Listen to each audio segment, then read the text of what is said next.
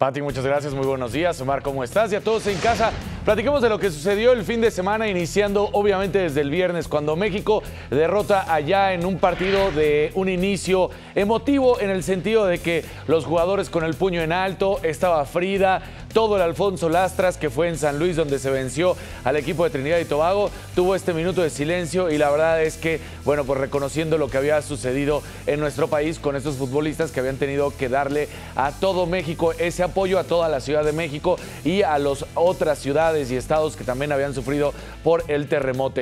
Por el terremoto. Hay que decir entonces que, bueno, pues aunque se gana, vuelven las alarmas. El partido empezaba con una derrota al momento porque Trinidad y Tobago iba ganando 1 por 0 y después aparecían los europeos. Aparecía obviamente Chicharito Hernández, aparecía Héctor Herrera, Irving Lozano. Hacían las cosas de buena forma y sacaban la victoria. Con esto, México es el primer lugar de la eliminatoria de CONCACAF y no lo va a perder.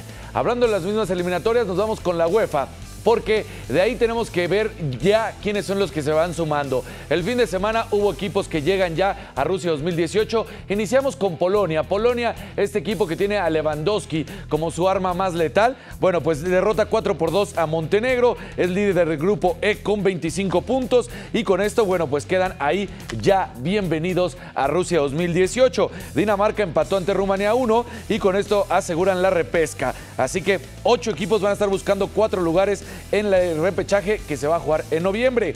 Portugal justamente es uno de esos equipos porque Cristiano Ronaldo que sale desde la banca en la segunda parte en el encuentro que estaban teniendo ante Andorra fue fundamental para que su equipo ganara 2 por 0 con un gol del propio Cristiano y después una jugada para pase de gol. ¿Por qué no había sido titular? Porque tenía una amonestación y en dado caso de que le pusieran la amarilla se perdería el último encuentro que va contra Suiza y ahí se va a definir si ellos irían al o en una de esas podrían entrar como primer lugar.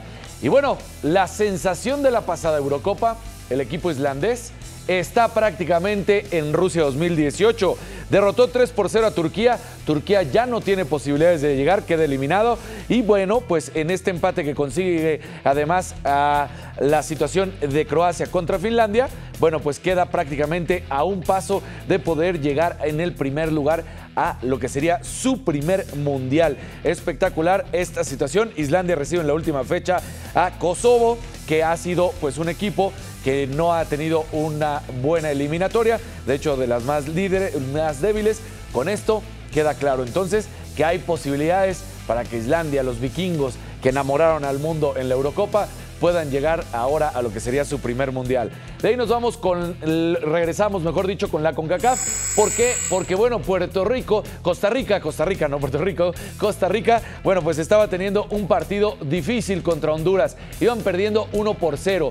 Empezaron a hacer tiempo los hondureños, se tiraban al suelo, eh, trataban de hacer que se prolongara lo más posible el encuentro y enfriar las jugadas, como se dice. Pone bien el árbitro mexicano central, Arturo Ramos pone seis minutos extra de compensación y justamente en este tiempo extra de compensación llega el empate y con eso es ya invitado oficial. Era casi un hecho que iba a estar, ya fuera hasta en el repechaje, pero con este puntito, los pura vida, como son conocidos, pues están ya de forma oficial siendo el segundo equipo de la CONCACAF en llegar al Mundial. Y bueno, pues estamos hablando de equipos que llegaron, vámonos también hasta la eliminatoria de África, porque Egipto se convirtió en el segundo equipo de esta federación en llegar al Mundial, pero ellos no estaban en un Mundial desde hace más de 28 años. Así hay que decirlo, en el minuto 95, Mohamed Salah, este jugador que hoy está en el Liverpool y que estuvo en la Roma, bueno, pues fue importantísimo. Ellos estuvieron en el 34 y en el 90, ambos en Italia. Así que bueno, pues regresa entonces el equipo de Egipto. Nigeria se convirtió en el primero de esta federación en clasificar a lo que es Mundial de Rusia 2018.